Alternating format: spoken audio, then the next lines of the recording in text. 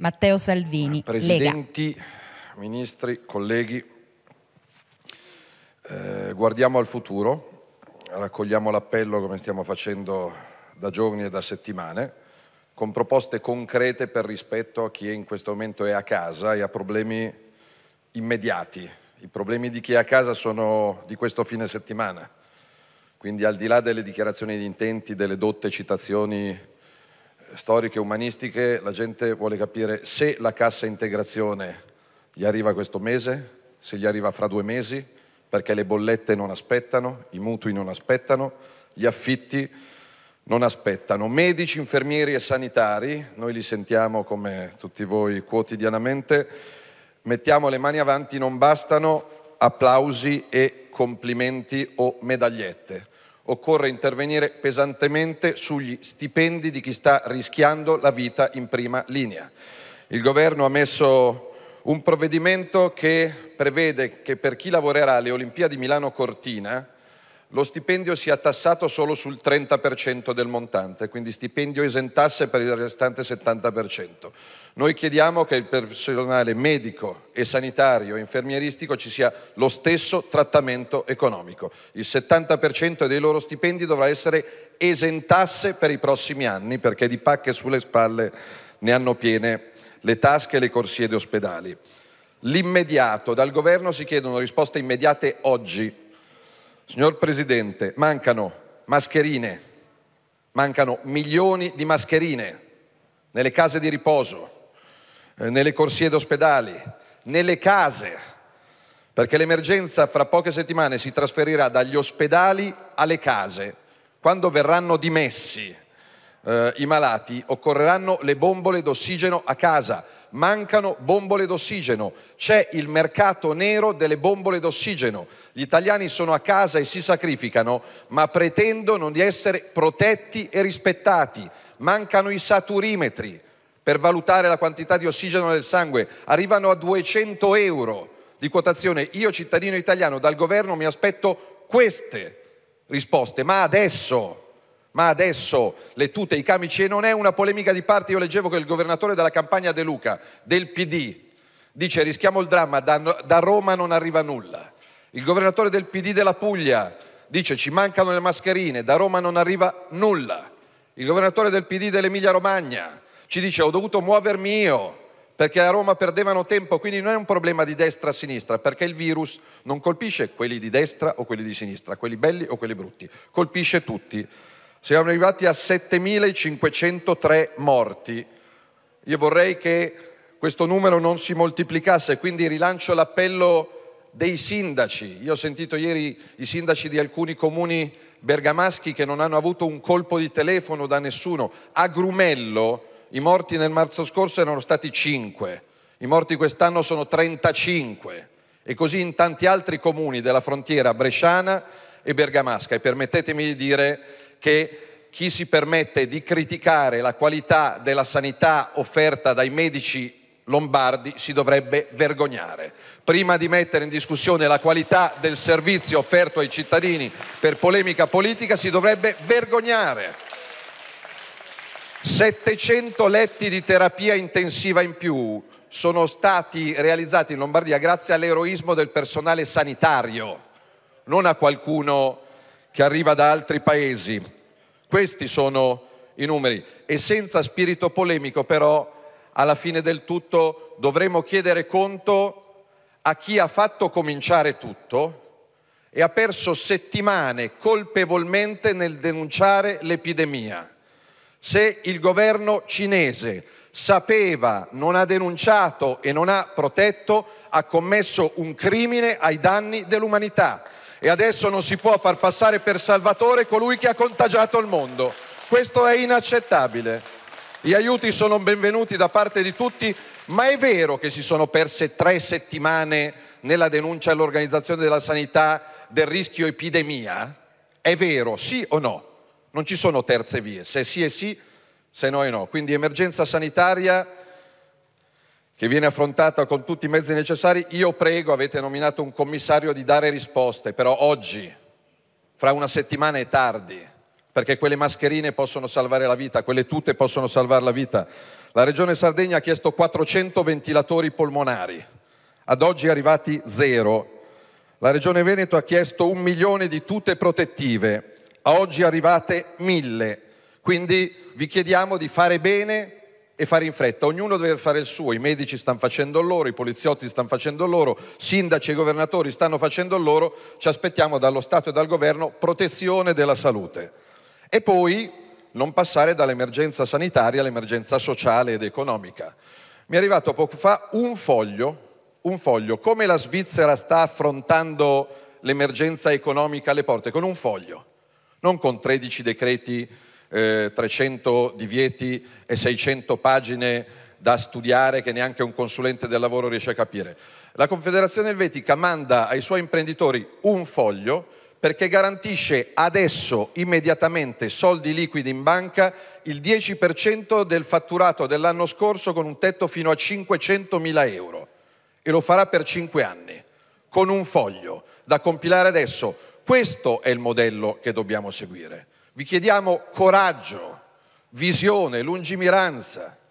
Il Regno Unito garantisce l'80% dello stipendio ai suoi lavoratori, garanzia dello Stato. Gli Stati Uniti del deprecato Trump garantiscono fino a 2.000 dollari a nucleo familiare. Subito. Liquidità. Io temo che con i decreti che stiamo esaminando, se questi soldi arriveranno fra un mese, due mesi e tre mesi, la gente esce di casa, ma non per ringraziare, perché se uno non ha i soldi per andare a fare la spesa, magari un genitore non mangia lui, ma se non riesce a dare da mangiare a suo figlio, il problema c'è. Noi cerchiamo di proporre miglioramenti, ci pagano per questo l'opposizione e io ringrazio tutto il centrodestra perché abbiamo dimostrato una compattezza veramente eh, che, che il Paese ci chiedeva e stiamo portando proposte.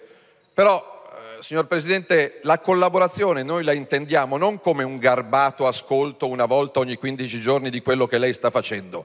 Se ci vuole collaborativi, lavoriamo insieme. Se ci vuole spettatori, allora ce lo dica. Noi continuiamo a fare proposte, però vorremmo anche che queste proposte fossero ascoltate, perché nei decreti, capisco fretta e furia e le dirette di mezzanotte, ci sono degli evidenti errori. Eh, sugli affitti, ripeto, vita reale, gli emendamenti che la Lega e il centrodestra portano avanti ci arrivano dai commercianti, dagli artigiani, dalle partite IVA dimenticate.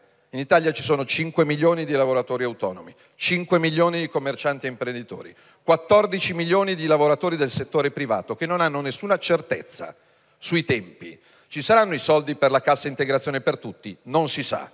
Quali sono i tempi di erogazione? Non si sa i mutui vengono effettivamente sospesi, qualcuno del governo ha provato a chiamare una banca per vedere l'odissea che sta dietro la norma a decreto? Non si sa. Gli affitti vengono sospesi per i negozi ma non per gli uffici, gli studi, i magazzini o i capannoni. Per gli affitti del privato non c'è nulla. Per assurdo, chi ci sta guardando adesso da una casa popolare a Milano, a Torino, a Roma, a Napoli, deve pagare tutto a fine mese, perché nel decreto non c'è nulla per l'affitto del privato.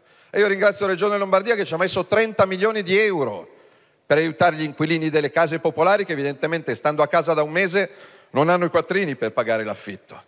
L'agricoltura, la pesca stanno soffrendo in maniera pesantissima e non hanno certezze. Noi chiediamo, è troppo chiedere la sospensione degli adempimenti fiscali almeno per tutto il 2020? Io lo dico agli amici del PD, avete messo nel decreto la sospensione dei pagamenti fino al 31 maggio, ma qualcuno pensa seriamente che il primo giugno milioni di lavoratori e imprenditori italiani possano tornare a pagare le tasse? Diamo certezze a questo Paese, non miracoli, certezze. La sospensione degli studi di settore, gli ISA, per, gli, per, i lavoratori autonomi e i liberi professionisti è chiaro che non riusciranno a starci dietro. I soldi per i sindaci. Io ho sentito un sindaco di un comune bresciano, Torbole Casaglia, uno dei tanti piccoli comuni italiani da nord a sud, i cui sindaci sono eroi. Per fare un funerale al loro concittadino hanno dovuto fare la colletta, perché i comuni non hanno più soldi. Eh, mettiamo dei soldi a disposizione dei sindaci nel decreto per evitare che i comuni saltino per aria e non si possa più raccogliere l'immondizia, perché adesso rischiamo anche l'emergenza dei rifiuti, eh? perché il problema è che grazie a tutti i no detti in passato, fra un po' si rischia l'emergenza rifiuti, perché fino a quando si potevano portare i rifiuti italiani, secondo me in maniera insensata, in altri paesi del mondo non c'era emergenza. Adesso che non ci prendono più i rifiuti, grazie ai signori del no, non vogliamo gli impianti in Italia, rischiamo di venire sommersi dai rifiuti. E quindi anche di questo bisognerebbe parlare nel decreto. Un pensiero anche ai tanti sacerdoti che si stanno immolando nella Bergamasca, in Emilia Romagna, in Toscana e stanno andando oltre ed è la Chiesa di frontiera, è la Chiesa di paese, la Chiesa di missione, quella che preferisce non stare chiusa in un palazzo ma stare in mezzo alla sua gente, sono decine i sacerdoti morti. E a loro penso che debba andare l'applauso di tutta quest'Aula del Senato perché stanno facendo un'opera di missione straordinaria al fianco dei medici, perché curano le anime come altri curano i corpi. Poi sono in chiusura, due riflessioni. Mi si permetta di ringraziare il Presidente Draghi per le sue parole, perché è caduto il mito del non si può fare debito, Oggi il Presidente Draghi ce l'ha detto, si può fare debito, ma non per assistenza, per rilanciare il reddito. Quindi benvenuto, Presidente Draghi.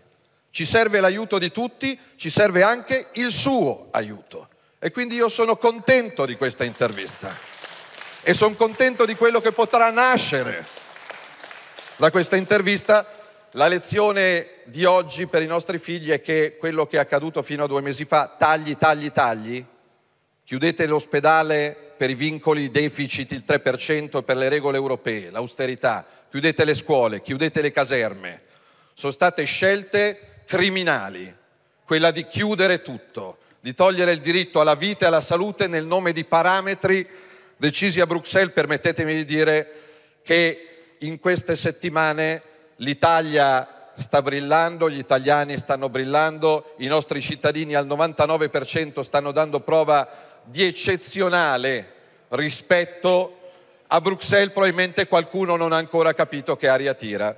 Se il governo tedesco parla ancora di MES senza condizioni, che prevede che i soldi vengano dati all'Italia ma debbano essere rimborsati in futuro a debito dei nostri figli, magari con una bella patrimoniale, ebbene a Berlino e a Bruxelles non hanno capito niente. Ritroviamo l'orgoglio di essere italiani, il più bel paese nel mondo. Grazie e spero che questo orgoglio sia di tutti, sia di tutti e spero che nessuno per portare a casa due spiccioli dall'Europa oggi ipotechi il lavoro, il futuro, la speranza e il risparmio dei nostri figli. Noi ci siamo non come spettatori perché gli italiani ci chiedono questo, ma come protagonisti. Se l'aiuto è richiesto, noi già ci siamo e ancor più ci saremo.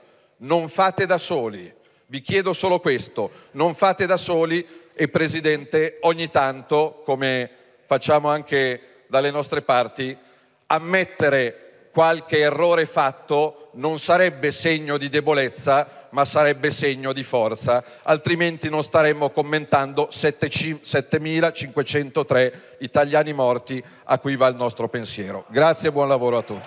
Non vogliamo essere spettatori ma protagonisti, il 70% degli stipendi di chi è in prima linea si esente da tasse e se il governo cinese sapeva e non ha denunciato ha commesso un crimine ai danni dell'umanità. Le parole di Matteo Salvini, Lega. Ha chiesto di parlare la senatrice Bernini.